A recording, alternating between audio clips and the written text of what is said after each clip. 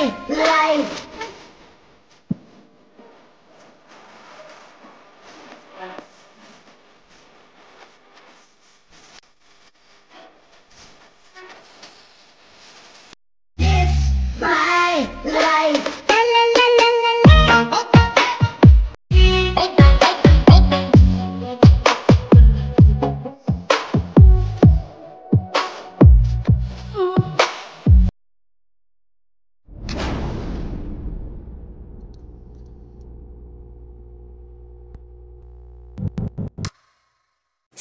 को bank balance दिखाने के लिए फोर्स करते रहते हैं। तभी वह नीचे गिरकर बेहोश होने का नाटक करती है और घर पर कहती है कि इस बार तो ये ट्रिक काम कर गई, पर नेक्स्ट टाइम क्या करूँगी?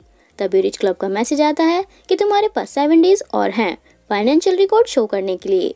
वह कहती है कि सेवन डेज़ में तो थाउज़ेंड रुपीज़ ही हो पाएँगे। थोड़ी देर बाद उसे भूख लग जाती है।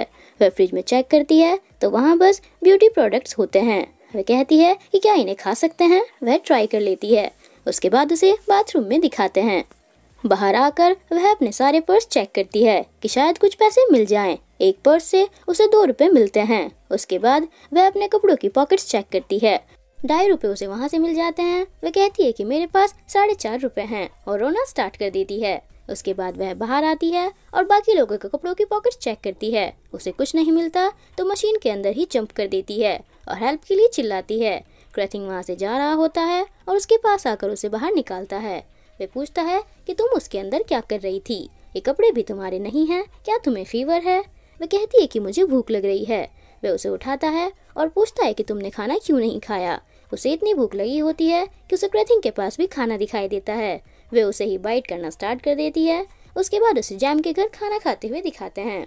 क्रैथिंग कहता है कि आराम से खाओ, कोई खाना लेकर भाग नहीं रहा है। जैम का बेटा भी कहता है कि ऐसा लग रहा है कि तुमने बहुत दिनों से खाना नहीं खाया है। वह कहती है कि ऐसा खाना मैंने पहले कभी नहीं खाया। मैं बस एक्सपेंसिव डिशेस ही खाती हूँ। बट मेरे डैड ने बोला है कि नॉर्मल लोगों की तरह रहना सीखो। आप मेरे लिए और खाना ला सकती हैं ताकि मेरे नॉर्मल लाइफ की प्रैक्टिस हो सके। जैम उसके लिए खाना लेने चली जाती है। क्रैथिंग उसे देखता रहता है और कहता है कि मुझे कुछ खरीदने जाना है। मेरे साथ चलो। डचेस जाने से मना करती है तो वह कहता है कि अगर मेरे साथ नहीं गई तो तुम्हारा सीक्रेट सबको बता दूँगा, और उसे अपने साथ बाहर ले आता है, और कहता है कि क्या हुआ है? थोड़ी देर पहले तुम वॉशिंग मशीन में कॉइन्स ढूंढ रही थी। वह कहती है कि मैं अपनी डायमंड रिंग ढूंढ रही थी। क्रैथिंग कहता है कि ऐसा लग रहा था कि तुमने बहुत दिनों से खाना नहीं खाया है। वह कहती है कि मैं डाइटिंग कर रही हूँ, इसीलिए ऐसा लग रहा होगा। क्रैथिंग कहता है कि क्या तुम्हारे पास पैसे खत्म हो गए हैं? वह हंसकर कहती है कि मेरा नाम डचिज है, मज़ाक मत करो। क्रैथिंग कहता है कि तुम मुझसे झूठ नहीं बोल सकती, बता दो क्या हुआ है। वह बता देती है कि मैंने ज़्यादा पैसे खर्च कर दिए तो डैड ने मेरे कार्ड सस्पेंड कर दिए। अब मेरे पास बस साढ़े चार रुपए हैं। क्रैथिंग अपनी बाइक से उसे एक पैकेट निकाल कर देता है। उसमें पैसे होते हैं। डचिस कहती है कि ये पैसे कहाँ से आए? ज़रूर तुमने चुराए होंगे। चोर तो तुम हो ही। क्रैथिंग कहता है कि तुम्हारे ही पैसे हैं। वह कहती है कि मेरे पैसे? क्रैथिंग कहता है कि तुमने जितने भी पैसे मुझे काम कराने के लिए दिए थे, मैंने उनमें से कुछ खर्च नहीं किया। तुम वापस ले लो। डचिस को वह एंजल दिखाई देता है। वह उसे हक करके कहती है कि मुझे लगा तुम बुरे लड़के हो पर तुम तो बहुत अच्छे हो। अगर मैं खुनखाओ को लाइक ना करती तो मुझे तुमसे प्यार हो जाता। खुनखाओ का नाम सुनकर वह चिढ़ जाता है और दोबारा हक करने से मना करता है। पैसा देखकर वह कहती है कि मैं बच गई।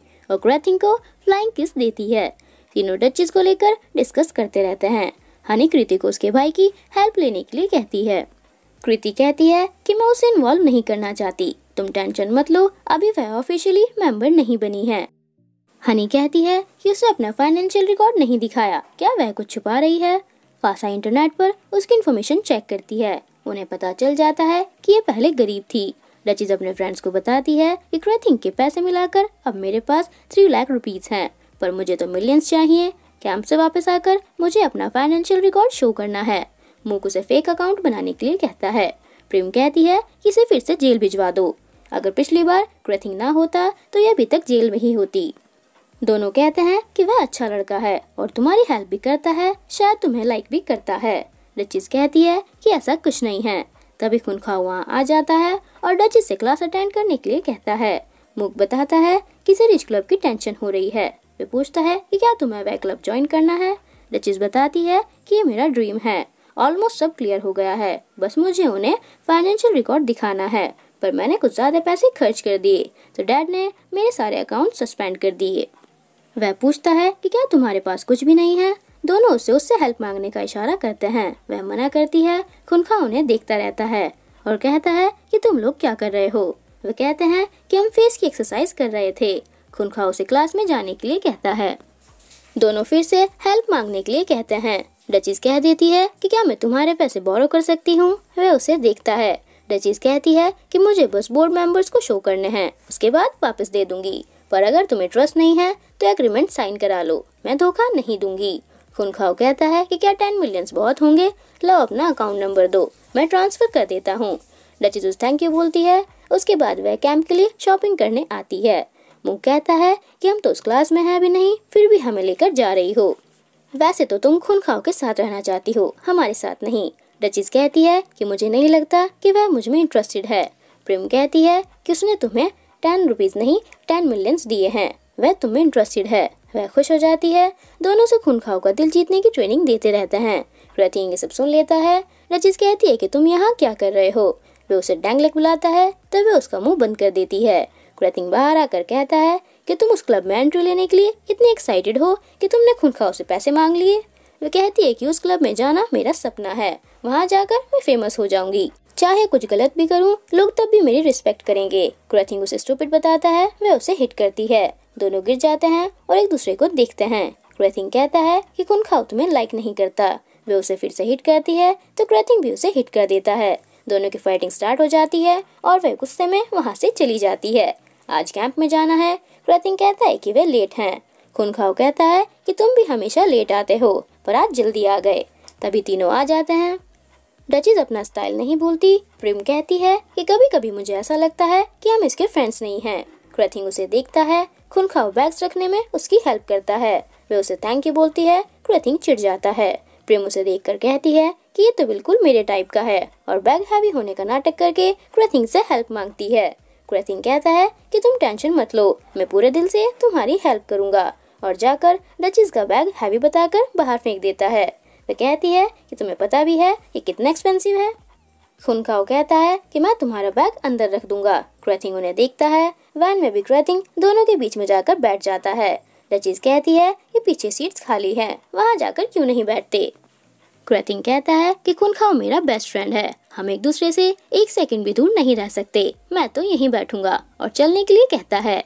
तीनों डचीज के बारे में इन्वेस्टिगेशन स्टार्ट कर देती हैं। सब लोग कैंप में आ जाते हैं। क्रथिंग का फ्रेंड पन एरिया चेक करने जाता है। खुनखा और क्रैथिंग टेंट लगाते रहते हैं। डचिस और उसके फ्रेंड से टेंट नहीं लग पाता। मुख से खुनखाओ से हेल्प लेने के लिए कहता है। वे स्माइल करके कहती है कि वह बिज़ी है। प्रेम क्रैथिंग से कह देती है कि मुझे टेंट लगाना नहीं आता। मैंने ये काम कभी नहीं किया। प्लीज़ हमारी हेल्प कर दो। खुनखाओ हेल्प करने जाता है। क्रैथिंग भी उसकी हेल्प करता है। डचिस खुनखाओ को ही देखती रहती है। वह भी उसे देखकर स्माइल करता है। मुँह कहता है कि खून खाओ मुझे देख रहा है। प्रेम कहती है कि तुम्हें नहीं इसे देख रहा है। डचीज के टीथ पर चॉकलेट लग जाती है। प्रेम कहती है कि इसीलिए वह इसे देख रहा था। वह अपने टीथ देखकर डर जाती है और क्लीन करना स्टार्ट कर देती है। खुनखा उसे देखकर हंसता रहता है और क्रथिंग से कहता है कि मैं डचीज के साथ फ्लर्ट के बारे में सोच रहा हूँ। वो उसे देखता है खुनखाओ कहता है कि शायद मैं उसे लाइक करता हूँ। क्रथिंग कुछ नहीं बोलता और डचीज को देखता है। डचीज अपने टीथ क्लीन करने में लगी होती है। इन्वेस्टिगेशन करते करते हनी की ड्रेस खराब हो जाती है। वह फासाई से टिश्यू मांगती है। पर उसके पास नहीं होता, एक लड़का उन्हें देखता रहता है। उसे देखकर तीनों चिल्लाना स्टार्ट कर देती हैं। हनी के सैंडल्स टूट जाते हैं। उस लड़के को पास आते हुए देखकर हनी फासाई के सैंडल्स निकाल कर पहन लेती है और वहाँ से भाग जाती है। वह लड़का कहता है कि मैं तो टिश्यू पेपर देने आया था। हनी कहती है कि जल्दी एविडेंस ढूंढो और यहाँ से चलो। फासाई उसे कुछ दिखाती है, पर वह उसे इग्नोर करके चली जाती है। रास्ते में उन्हें दो लोग ड्रिंक करते हुए मिलते हैं। हानी उन्हें डचिस की फ़ोटो दिखाकर कहती है कि क्या तुम इसे जानते हो? वे उसे देखकर हंसना स्टार्ट कर देते हैं और कहते हैं कि तुम्हें भी ड्रिंक करनी पड़ेगी, तभी हम बताएँगे। तीनों उनसे ड्रिंक ले लेती हैं। हनी पी लेती है, फासाई भी पी लेती है, पर कृति नहीं पीती। वो लड़के कहते हैं कि जब तक ये नहीं पिएगी, हम नहीं बताएँगे। हनी उसे फोर्स करके पिला देती है। कृति पर ड्रिंक का असर हो जाता है। उन लड़कों की गर्लफ्रेंड्स वहाँ आ जाती हैं। और कहती हैं कि तुमसे बेटर डांस हम कर सकते हैं। दोनों डांस स्टार्ट कर देती हैं। हनी और फासाई उन्हें देखते हैं। उसके बाद कृति डांस करती है और उनसे आर्ग्यू करना स्टार्ट कर देती है। दोनों से वहाँ से ले जाती हैं। कैंप में डचिज क्रथिंग से पूछती है कि क्या तुमने खुनखाओ को देखा है? वह मना करता है और उसे फ्लर्टी बताता है। डचिज उसे हिट करती है और खुनखाओ के आने पर कहती है कि मैं तो डस्ट क्लीन कर रही थी। खुनखाओ उसे फ्लावर्स देता है। क्रथिंग उन्हें देखता है। वह कहता है कि ये नहीं, तुम्हारे लिए ये फ्लावर्स हैं। क्रथिंग वहाँ से जाता है तो खुनखाओ पूछता है कि कहाँ जा रहे हो। वह कहता है कि शावर लेने। ये सुनकर प्रेम वॉशरूम का बहाना बनाकर चली जाती है। तभी पुन उसके लिए ड्रिंक लेकर आता है, जो पास के विलेजर्स ने उसे दी है। वह कहता है कि हर्बल ड्रिंक है। उस ड्रिंक को मूक और डचिस पी लेते हैं। खुनखाओ मना कर देता है क्रथिंग शावर लेने आता है। प्रेम भी वहाँ आती है, उसके अंदर की एंजल उसे ऐसा करने से मना करती है। पर डेविल आकर उसे ऐसा करने के लिए कहती है। दोनों बार बार बोलती रहती है, प्रेम भी हाना करती है। इतनी देर में क्रथिंग बाहर आ जाता है और उसे वॉशरूम यूज़ करने के लिए कहकर चला जाता है।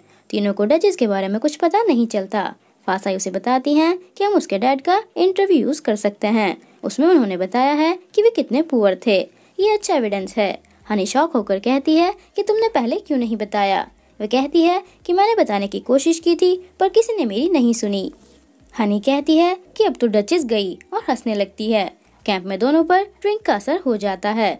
डचिस और खून खाओ डिशेज वॉश करते रहते हैं। दोनों को डांस करते हुए देखकर प्रेम भी डांस करना स्टार्ट कर देती है। डिशेज वॉश करते हुए दोनों के हैंड्स टच हो जाते हैं। डचिस खुश होती है क्रोथिंग आकर हाथ हटा देता है और खुनखाओ से पूछता है कि मेरा खाना कहाँ है? जाओ जाकर मेरे लिए खाना लेकर आओ। वह कहता है कि मैं डचिस की हेल्प कर रहा हूँ। वह कहता है कि ये मिनियन अपने आप कर लेगी। डचिस उसे देखती है, उस पर भी ड्रिंक का असर हो जाता है। वह कहती है कि आज इतना हैंडसम क्यों लग रहा है?